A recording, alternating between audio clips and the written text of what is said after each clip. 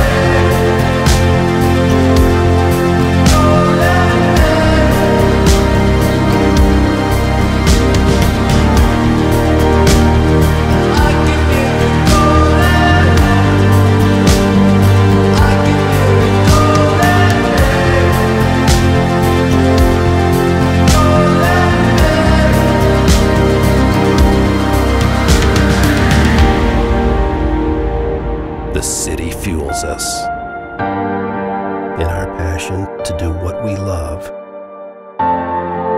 for the city that we love. Home is Canada. Canadian built.